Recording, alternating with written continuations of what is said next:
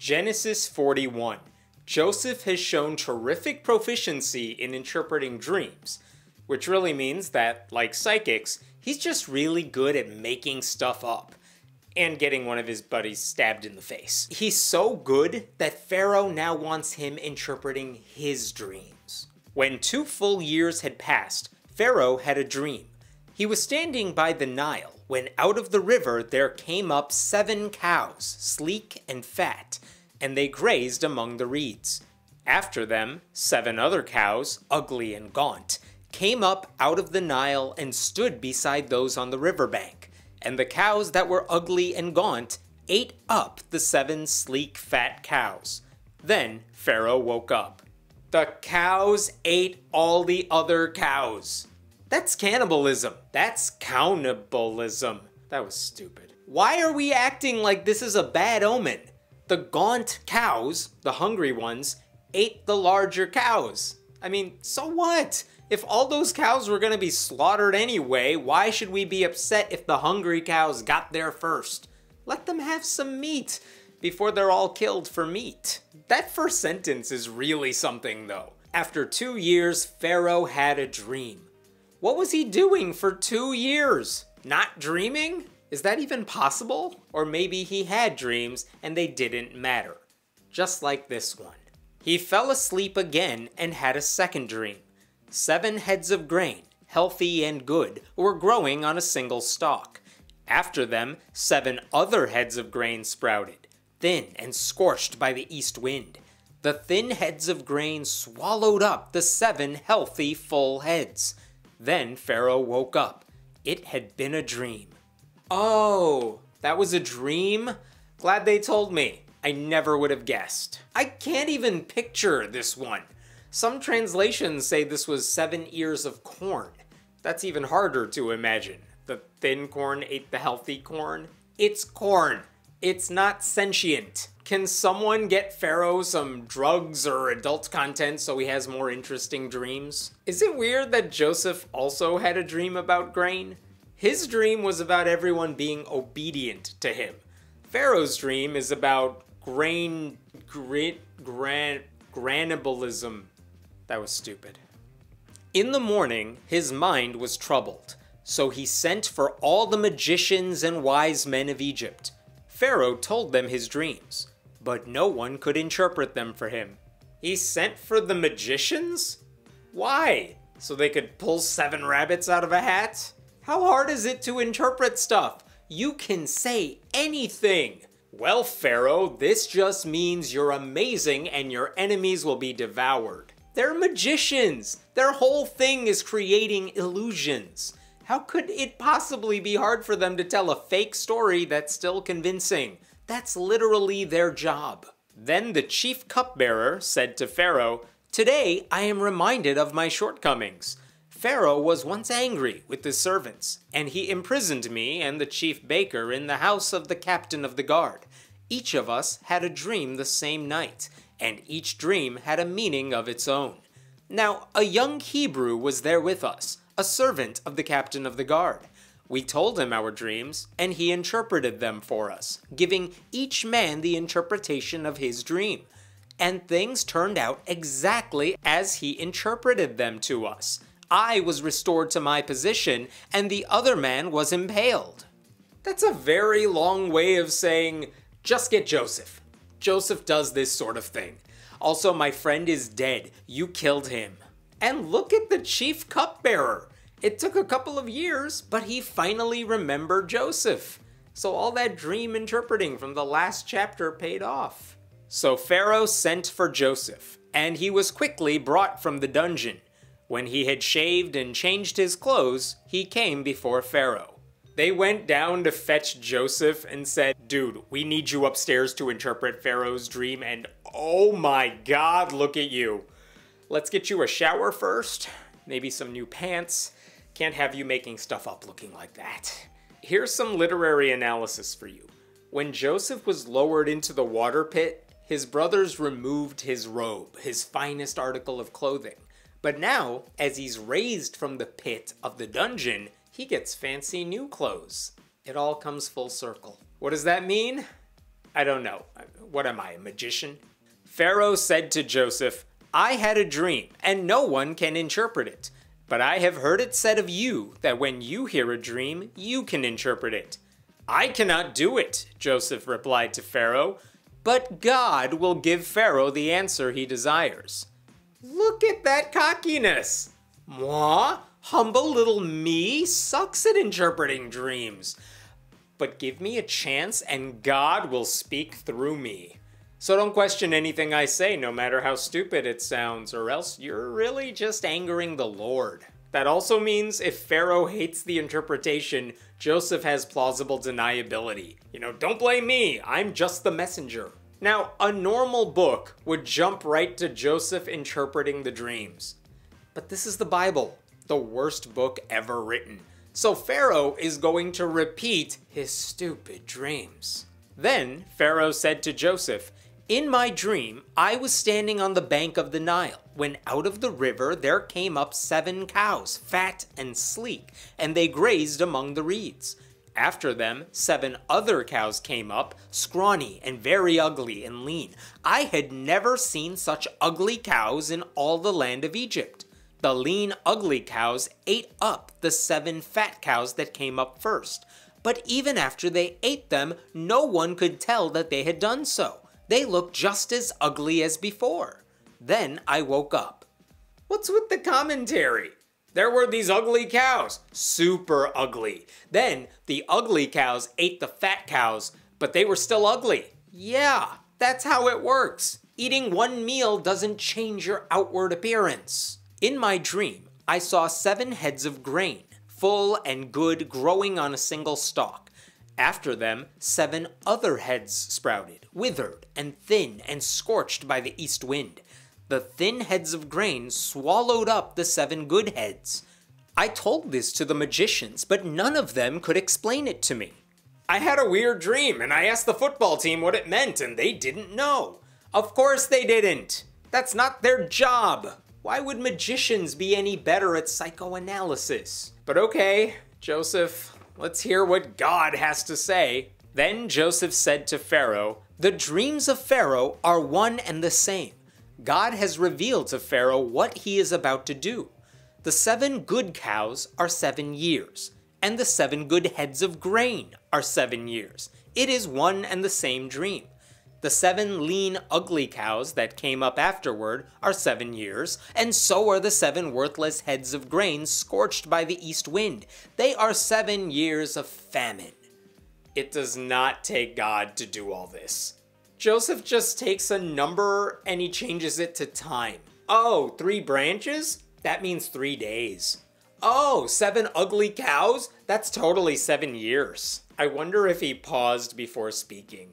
Did he milk the moment like a sketchy televangelist? Oh, oh, that that's a tough dream. Wow. Oh, it'll take a miracle to interpret it. Wait, wait, wait.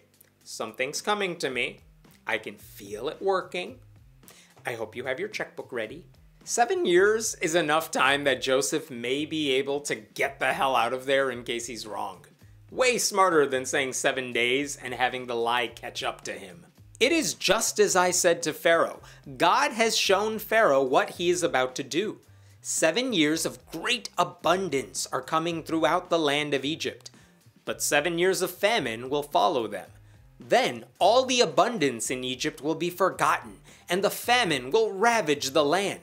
The abundance in the land will not be remembered because the famine that follows it will be so severe. The reason the dream was given to Pharaoh in two forms is that the matter has been firmly decided by God, and God will do it soon. It was so obvious. Ugly cows equals famine. Thin heads of grain equals famine. That's like living in southern Florida and saying everyone's bad dreams means there's a hurricane coming. You won't go wrong. Look at those last lines. You had two similar dreams because the famine is super duper coming. Yeah, that's it. Don't like it? Blame God. But Joseph isn't done yet. He's clever. He's setting himself up for success, and he'll say anything not to go back to the dungeon. And now let Pharaoh look for a discerning and wise man and put him in charge of the land of Egypt. Let Pharaoh appoint commissioners over the land to take a fifth of the harvest of Egypt during the seven years of abundance. They should collect all the food of these good years that are coming and store up the grain under the authority of Pharaoh to be kept in the cities for food. This food should be held in reserve for the country, to be used during the seven years of famine that will come upon Egypt, so that the country may not be ruined by the famine. Joseph's like, raise taxes now so we can have a budget surplus. We're gonna need it. And make sure you have someone smart and wise and me and put him in charge. What he's suggesting, though, isn't rocket science. If there's a famine in the future, of course you should save up food now. You're telling me no one else could have figured that out? None of the magicians? The plan seemed good to Pharaoh and to all his officials. So Pharaoh asked them, Can we find anyone like this man, one in whom is the Spirit of God? Yeah. Can we find anyone like Joseph, the guy standing right here? Do we have anyone like him around? You know Joseph's looking around like he totally doesn't know what's coming. Then Pharaoh said to Joseph, Since God has made all this known to you, there is no one so discerning and wise as you. You shall be in charge of my palace, and all my people are to submit to your orders. Only with respect to the throne will I be greater than you. The plan worked. He'll get to shave every day now. So Pharaoh said to Joseph, I hereby put you in charge of the whole land of Egypt. Then Pharaoh took his signet ring from his finger and put it on Joseph's finger. He dressed him in robes of fine linen and put a gold chain around his neck. He had him ride in a chariot as his second in command, and people shouted before him, Make way! Thus he put him in charge of the whole land of Egypt. Joseph is now in charge of Egypt, and all he's doing is riding shotgun in a chariot, wearing expensive clothes and jewelry, and doing no real work. He is everything wrong with government. Hey, I had a dream in which two ugly cows ate two very rich and lazy cows. What does that mean, Joseph? Then Pharaoh said to Joseph, I am Pharaoh, but without your word, no one will lift hand or foot in all Egypt. Pharaoh gave Joseph the name Zaphenath Paneah, and gave him Asenath, daughter of Potiphera, priest of On, to be his wife. And Joseph went throughout the land of Egypt. Wow, I was totally gonna name my next kid Zaphenath Paneah. That would have been awkward. Once again, we are introduced to a woman who has no real identity other than she's now the property of a man. We're not told of any consent, we're not told her age, we're not told if she even likes Joseph. So typical. And wait, when Joseph was sold into slavery, he was sold to Potiphar, whose wife, uh, I don't know her name, so let's just call her Becky Falwell, tried seducing him. And now he's marrying the daughter of Potiphera, who's apparently a completely different guy. How do you have names like Zaphenath Paneah and still find a near duplicate? Joseph was 30 years old when he entered the service of Pharaoh, king of Egypt, and Joseph went out from Pharaoh's presence and traveled throughout Egypt, during the seven years of abundance, the land produced plentifully. Joseph collected all the food produced in those seven years of abundance in Egypt and stored it in the cities. In each city, he put the food grown in the fields surrounding it. Joseph stored up huge quantities of grain, like the sand of the sea. It was so much that he stopped keeping records because it was beyond measure. What a crappy way to spend your 30s. You have no kids. You have a new wife. Go travel. Go be interesting. This guy's just walking around collecting grain. And then when he's done, he just keeps collecting grain. Before the years of famine came, two sons were born to Joseph by Asenath, daughter of Potiphera, priest of On. Joseph named his firstborn Manasseh, and said, It is because God has made me forget all my trouble and all my father's household.